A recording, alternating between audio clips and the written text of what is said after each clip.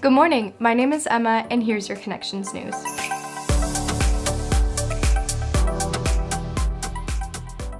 We only have one more week to join our kiddos at Connections by donating food items to help generous hands. Pick up a postcard at the Welcome Center and bring in your items by next Sunday.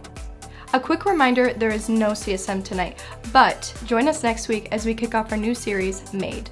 When it comes to relationships, dating, and sex, we all have certain ideas and expectations of what it should or shouldn't be about. When we look at God's designs for relationships, we'll discover that there's more to it than we think.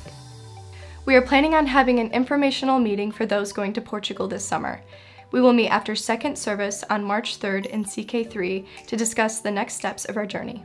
If you are not planning on going to Portugal but want to serve on a missions team, we are putting together a team of skilled construction workers to serve at Fight Ministries in the Dominican Republic.